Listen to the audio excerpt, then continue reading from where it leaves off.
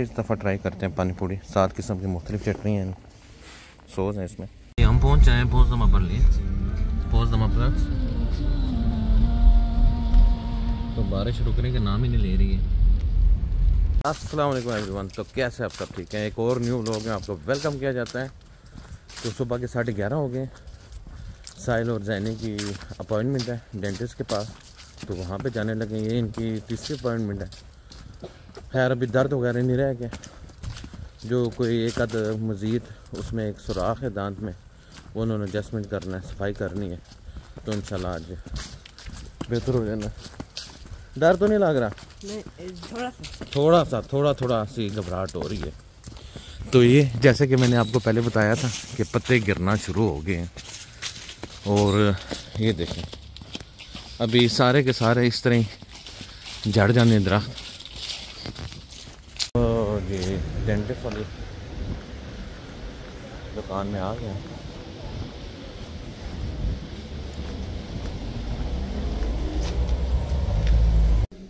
ये डेंटिस्ट की दुकान में देखें। कितनी प्यारी नींद सजाई गई हम डेंटिस्ट से फारो हो गए तकरीबन डेढ़ घंटा हमारा लगा है। तो साहिल से पूछते हैं। साहिल दस सर तो नहीं हुआ? नहीं। आज उन्होंने एक मज़ीद दांत की फीलिंग की है, खाली हो गया था और दांतों की सफ़ाई की है इन्होंने। तो यहाँ में साल में दो दफ़ा आप डॉक्टर के पास जा सकते हैं। अगर आपको दर्द वगैरह ना हो चेकअप के लिए। और ये देखें, माशाल्लाह, दरख्त कितने प्यारे लग रहे हैं। और हल्की हल्की से हवा भी चलना शुरू हो गई है। और आगे मैं दिखाता हूँ आपको, पत्ते भी सारे गिरे हुए हैं। तो ये देखें जी पत्ते। अभी गिर गिर के दरख्तों से तो सूख भी गए और इतने प्यारे लगते हैं ये। और ये साथ साथ सफ़ाई भी कर रहे हैं। लेकिन रात को फिर गिरते हैं फिर पत्ते पत्ते हो जाते हैं। छोटे छोटे कुक दिखाता हूँ मैं। क्या बना रहे हो?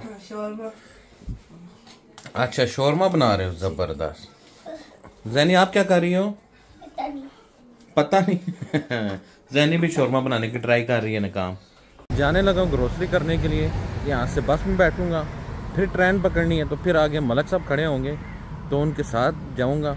तो आपको भी दिखाता हूँ एक नई जगह है, वहाँ पे काफ़ी सारे लागर बने हुए हैं, पाकिस्तानी इंडियन और वियतनामी भी हैं। तो वो जगह आपको दिखाता हूँ, वहाँ से जाके ग्रोसरी करनी है। तो चले, बस का इंतज़ार कर रहा हूँ। अभी गई है तो तीन बज के दस मिनट हुए तो तकरीबन सात आठ मिनट बाद दोबारा आएगी बस।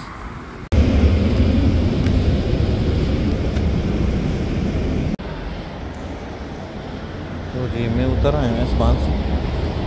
अभी मलक साहब का इंतज़ार करते हैं यहाँ पे।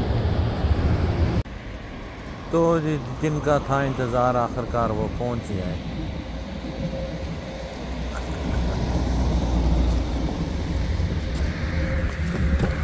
अस्सलाम वालेकुम सर भाई क्या हाल है? ठीक है? हाँ जी शुक्र है ठीक है आप? मलक साहब ठीक है आप? अल्लाह का शुक्र आप सुनाए ठीक है? जी शुक्र है। सर्दी शुरू हो गई है। बस नवंबर का महीना शुरू हो गया सर्दी भी शुरू हो गई सर्दी भी शुरू हो गई है।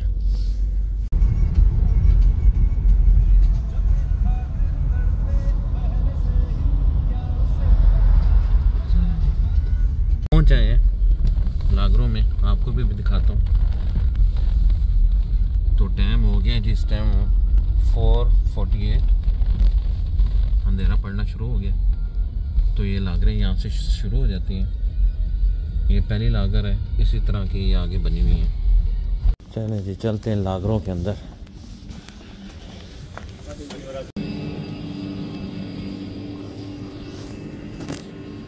आटा मैंने रख लिया, आगे देखते हैं।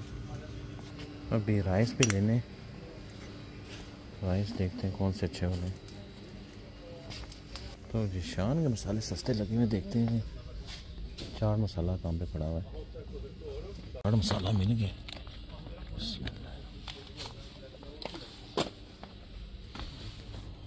तो जी, हमारे दस डब्बे हो गए चाट मसाले के। आगे देखते हैं मज़ीद कुछ। तो जी, एक मैंने ये लिए, क्रिस्पी फ्राइज, ऑनियन। और एक ये ले लेते हैं, काली मिर्चें। तो जी, एक ले लेते हैं चिली पाउडर। और एक ये ले लेते हैं, सूखा धनिया। और इस तरफ़ इनके पड़े हुए ये कोकोनट वगैरह हो गया। इस तरह की चीज़ें हैं जो कि हमारे काम की नहीं है। इस दफ़ा ट्राई करते हैं पानी पूरी सात किस्म की मुख्तलिफ़ चटनी हैं। सोज हैं इसमें।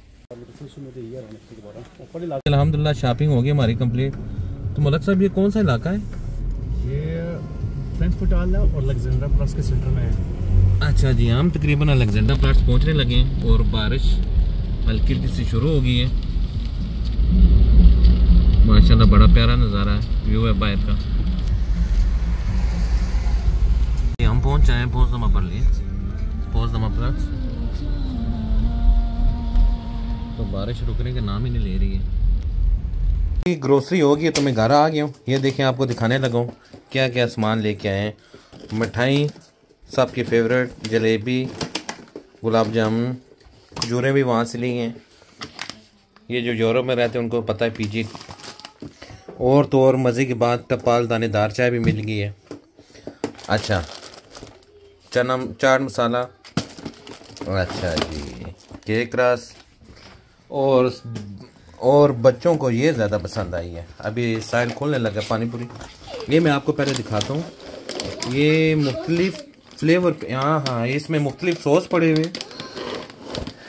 अभी देखते हैं, ये ये वाला फ़र्स्ट टाइम ही ट्राई करने लगे हैं। वाह ये देखें जी। ये रेडी टू ईट है। अभी सॉस भी इनके खोलते हैं। तो जी हमारा प्रोग्राम हो गया कैंसिल इंशाल्लाह कल गोलगप्पे बनेंगे तो आपको मैं दिखाऊँगा। और इस सॉस में क्या क्या निकलता है? वाह ये तो पॉपकॉर्न है। क्या कर रहे हो? अली देखें जी अली तो माशाल्लाह अली जी माशाल्लाह हमारा बहुत काम वाला बर्तन धो रहा था। और अली के बलाज के लिए पॉपकॉर्न भी रेडी हो गए हैं। कभी कभार बच्चों के साथ बच्चा भी बनना पड़ता है। हम भी साथ उनके पॉपकॉर्न खाते हैं। हम्म, बलाज ने तो दे दिया अली देता भी नहीं है।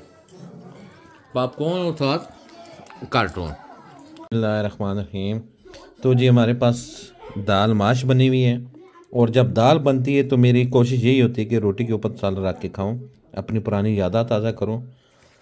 तो बिस्मिल्लाह करते हैं, खाना खाते हैं। बिस्मिल्लाह रहीम और दाल माश हम सारों की बहुत फेवरेट है। माशाल्लाह, बहुत मज़े की। ज़बरदस्त किस्म की बनी हुई है दाल। तो जी, आज की वीडियो में यहीं पे एंड कर रहा हूँ। अगर आपको पसंद आए तो इसको लाइक शेयर सब्सक्राइब ज़रूर कीजिएगा। तो अपना बहुत सारा ख्याल रखिएगा। मुबशर मलिक को दें इजाज़त। तो इंशाल्लाह नेक्स्ट व्लॉग में मुलाकात होती है। अल्लाह हाफिज़।